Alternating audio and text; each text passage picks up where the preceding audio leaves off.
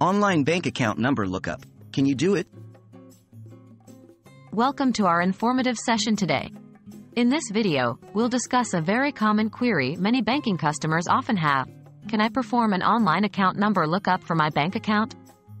With today's advanced technology, it's understandable to assume that you could do such a task, but let's break down what's possible and what's not. Can you look up your bank account number online? To start with, the direct answer is typically no.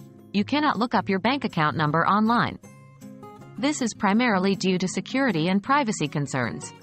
Bank account numbers are sensitive information that, if fallen into the wrong hands, can be used fraudulently. Banks have a responsibility to protect your personal and financial information, and thus, don't provide an option to retrieve this information online. What if I forget my account number?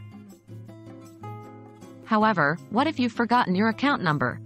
There are ways to retrieve it, but not by a straightforward online lookup. Most often, you'll find the account number on your checkbook or bank statements. If you don't have access to these, you can find this information by contacting your bank's customer service either through a phone call, live chat, or by visiting your bank branch in person. The role of online banking. Now, while you can't directly look up your bank account number, you can still use online banking for various tasks. Online banking allows you to check your account balance, make transactions, set up direct deposits, and more.